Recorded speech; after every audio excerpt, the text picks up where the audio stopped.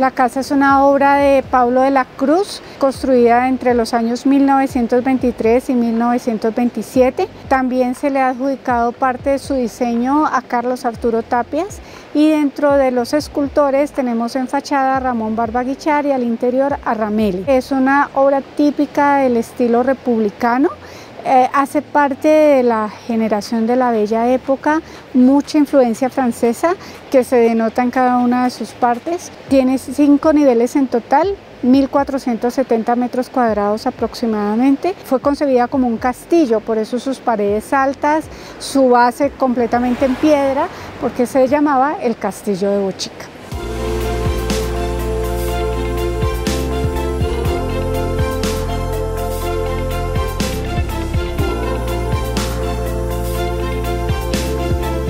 Hay que aclarar que la casa es una consecuencia del salto.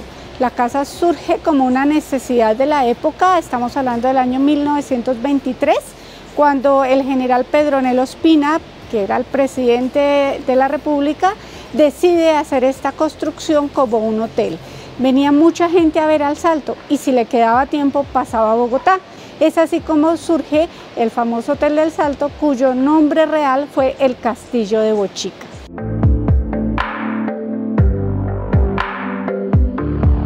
La casa como hotel eh, pues era una estación de tren que prestaba servicio hotelero. Dentro de las cosas importantes que, se resaltan es que era una casa netamente aristocrática donde se atendía a la gente que venía en primera clase y el alojamiento era muy exclusivo, pues no contaba tampoco con muchas habitaciones. Le calculamos que alrededor de unas 10 habitaciones seguramente eran las que tenían servicio porque pues el espacio no da para más. Nos encontramos en el salón de banquetes, es el salón principal, donde la decoración que tiene pues es bastante relevante. Es un estilo Ramelli el que se maneja en el lugar. Todas las figuras tienen un significado, pero lo más importante de todo el proceso es cómo el artista va combinando la mitología muisca con la mitología greco-romana, dándole una forma al salón que es absolutamente incomparable con otro tipo de lugar. Digamos que esa autenticidad es lo que hace valorizar mucho más este espacio.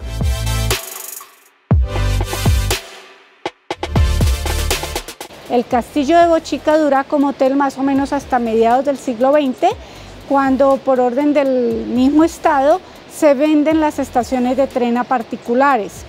Y esta, pues siendo una estación de tren, es vendida funciona como restaurante más o menos hasta mediados de los 80, cuando es finalmente abandonada y termina siendo, eh, pues digamos, objeto de todo tipo de vandalismo hasta más o menos el año 2009 que la fundación empieza todo un proceso, la Fundación Granja Ecológica al Porvenir, que es la que yo represento, empieza todo un proceso para adquirir el bien y poderlo recuperar. Esta iniciativa fue acogida por diversas entidades como la Universidad Nacional, la Embajada de Francia en Colombia, la Agencia Francesa de Desarrollo, la Unión Europea, fueron entidades que, digamos, desde su institucionalidad respaldaron el trabajo. Pero también tuvimos el apoyo de, profesionales del sector, como el ingeniero Luis Guillermo Icardi, la arquitecta Claudia Hernández, que donaron todo su saber, eh, su trabajo, su experiencia para lograr que fuera posible recuperar la casa.